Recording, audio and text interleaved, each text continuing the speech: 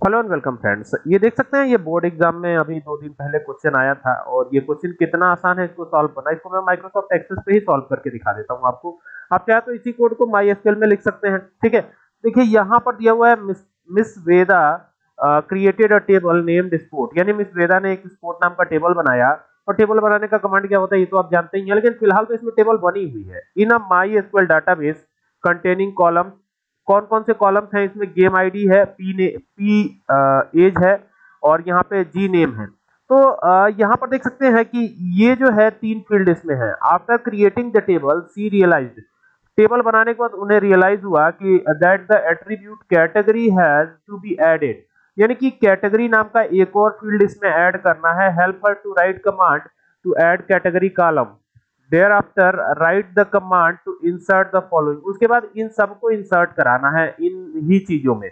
तो पहले तो हमें बनाना होगा। तो आइए देखते हैं इसको। तो ये यहाँ पर आए। अब मैं इसको क्लोज कर देता हूँ हमें टेबल को क्लोज करना है और यहाँ से क्रिएट पे जाके और देन क्वेरी डिज़ाइन पे जाके और यहाँ से एसक्यूएल पे चले चलना है। अब यहाँ पर टेबल बनानी है। तो टेबल बनाने का जो कमांड होता है वो क्रिएट होता है। तो यहाँ सीधा सीधा लिख दीजिए क्रिएट टेबल ठीक है? क्योंकि टेबल बना रहे हैं और फिर टेबल का नाम दे देंगे। तो टेबल का नाम है sport S P O R T ठीक है? तो जो नाम दिया गया, वही नाम यहाँ पे मैं दे देता हूँ। तो स्पोर्ट नाम दे दिया हमने। इसके बाद क्या कह रहा है? इसके बाद क्वेश्चन ये कह रहा है कि स्पोर्ट नाम का टेबल बनेगा और उसमें फ़ील्ड होंगे गेम आईडी ठीक है? तो यहाँ पर ये नहीं दिया गया कि गेम आईडी को आपको क्या रखना है? प्राइमरी की रखना है या नहीं? तो यहाँ पे मैं लिख देता हूँ, फ़िलहाल गेम अंडरस्कोर आईडी ठीक है? अंडरस्कोर लगा के लिखिएगा, नहीं तो एरर आ जाएगा, ठीक है? और यहाँ पे इंट रख देता हूँ। डेटा टाइप मेंशन नहीं है कि कौन सा डेटा टाइप आपको देना है। लेकिन इसमें ये देख सकते हैं, यहाँ पर क्वेश्चन के अंदर जब आप जाते हैं तो आपको ये दिखाई पड़ेगा कि गेम आईडी में जी भी लिखा हुआ यानी टेक्स्ट और नंबर का मिक्सअप है।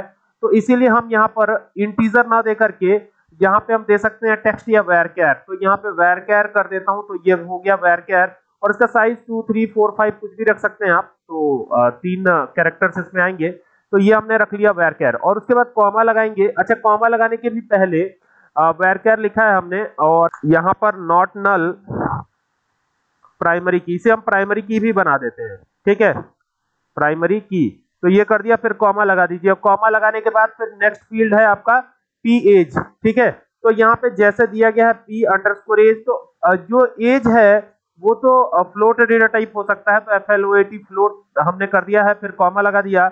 फिर यहाँ पे गेम नेम आएगा तो जी अंडरस्कोर नेम तो ये हो गया गेम नेम और फिर आपसे कहा गया है कि एक बाद में ऐड कराना है कैटेगरी तो फ़िलहाल तो इतना ही रखना है, ठीक है? पर गेम नेम का भी हमने दे दिया है डेटा टाइप तो इसे कैर रख दिया है 15 साइज़ दिया गया है, और यहाँ पे क्लिक करेंगे तो देखिए ये टेबल स्पोर्ट क्रिएट होता हुआ नज़र आ रहा है, अब इसमें रिकॉर्ड इंसर्ट कराने हैं, दूसरा ये दो नंबर का क्वेश्चन है तो इसमें रिकॉर्ड इंसर्ट कराने हैं, दो नहीं बल्कि तीन, या चार नंबर का क्वेश्चन है तो यहाँ पे देखिए अब रिकॉर्ड में पहले दिया गया जी यहाँ पे देखिए ये क्या दिया गया है?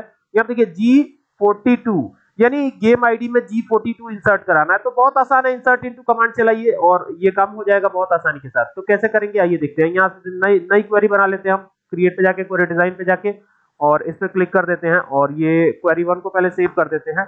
जी क्यू के नाम से गेम क्वेरी ठीक है? ये हमने कर दिया। और अब क्वेरी टू जब बनाएँगे तो क्वेरी टू में किस तरीके से करना है आपको देखिए ध्यान से।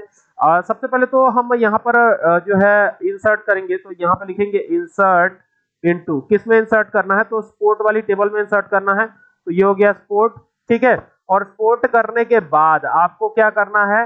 ब्रैकेट को ओपन करना है। और तमाम उन फील्ड्स के नेम लिखने हैं, जो कि इसमें दिए गए हैं, ठीक है? तो यहाँ पर देखिए, ये पहला है गेम आईडी फिर है पी एज फिर जी नेम है तो इन सारे फील्ड्स के नेम लिखने हैं। तो पहले गेम आईडी कर देते हैं। देखिए पी अंडरस्कोर एज तो जैसे लिखा है वैसे ही लिखना है हमें। तो ये पी एज हो गया, फिर यहाँ पर देखिए पी एज के बाद जी नेम है।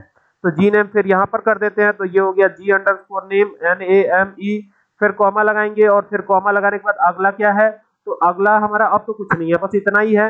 तो इतना रख करके अब अब इसको तो क्लोज कर देंगे और क्लोज करके एंटर करके नीचे आएँगे और यहाँ पे डालेंगे वैल्यूज़ तो ये हो गया वैल्यूज़ और वैल्यूज़ में क्या डालना है? देखिए यहाँ पर दिया गया है क्वेश्चन में जी 42 तो ये आपका एज ए टेक्स्ट वर्क करेगा तो आपको इसे सिंगुलेटेड कॉमा के अंदर लिखना होगा, ये चीज़ ध्यान दीजिएगा.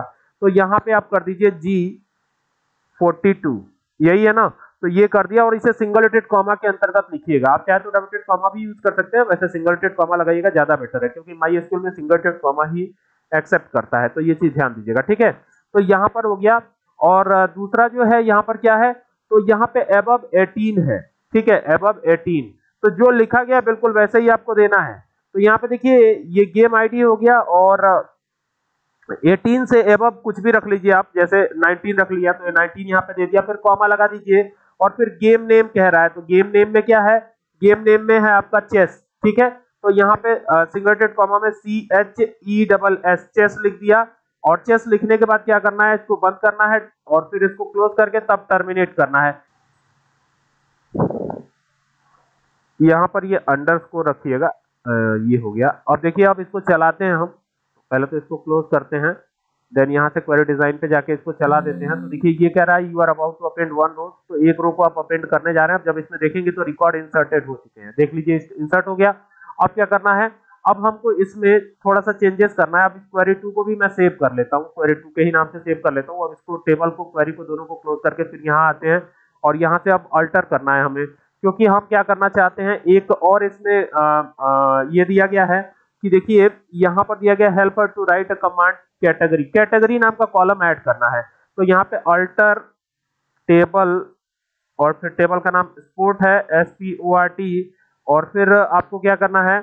एंटर करना है और एंटर करके यहाँ पर ऐड कॉलम ये चलाना है C O L U M N तो किस नाम से ऐड करना है? तो देखिए यहाँ पर कैट यहाँ पर देख सकते हैं, ये कैटेगरी नाम से ऐड करना है, ठीक है? कैटेगरी नाम से ऐड करना और उसमें सीनियर रखना है। तो ये चीज़ ध्यान दीजिएगा। तो यहाँ पे C A T E G O R Y category हो गया और इसमें क्या ऐड करना है? मतलब कैटेगरी क्या होगा? सीनियर लिखेंगे तो इसीलिए हम इसका डेटा टाइप रख देते हैं वेर केयर वेर केयर रख दिया और वेर केयर रख के और इसकी साइज़ कर देते हैं ट्वेंटी फाइव और बंद करके और ब्रैकेट को क्लोज करके और टर्मिनेट करते हैं और टर्मिनेट करके अब जो है जब इसको चलाएँगे तो आप देखेंगे कि इसमें एक और फ़ील्ड एक और फ़ील्ड ऐड हो जाएगा कैटेगरी अब कैटेगरी के अंदर हमें लिखना है, ठीक है? कैटेगरी के अंदर लिखने के लिए क्या करेंगे? यहाँ पे देखिए कैटेगरी के अंदर लिखना है तो यहाँ पे एसक्यूएल पे जा करके और कैटेगरी में क्या देना है हमें? तो यहाँ पे कैटेगरी में सीनियर देना है तो बस हमें यही लिख देना है डबल कॉमा के अंदर, या सिंगलेटेड कॉमा यूज़ कर लीजिए एस चेक करते हैं यहाँ पर। तो यहाँ पे दे देंगे game ID is equal to forty two ठीक है? और अब यहाँ पर फोर्टी टू ही दिया गया है, देख सकते हैं यहाँ पे, ठीक है? G forty two G forty two दिया गया है तो आ, हमें भी यहाँ पे जी फोर्टी टू करना होगा ये चीज़ ध्यान दीजिएगा। तो यहाँ पे कर देते हैं जी फोर्टी टू और और ये भी ध्यान रखना है साथ में कि ये जी फोर्टी टू सिंगलेटेड कॉमा के अंदर आपको लिखना है और अब इसे सेलेक्ट करिए और देन यहाँ से रन करवा लीजिए। तो यहाँ पे देखिए कह रहा है you are about to update one row तो एक रो आपकी अपडेट हो जाएगी और यहाँ पर जब आएँगे ना तो देखिए कैटेगरी में सीनियर भी आ जाएगा। तो ये प्रैक्टिकली भी करके दिखा दिया और ये क्वेश्चन तीन या चार नंबर का था। तो उम्मीद करता हूँ आपको पूरी बात समझ में आई होगी ठीक है?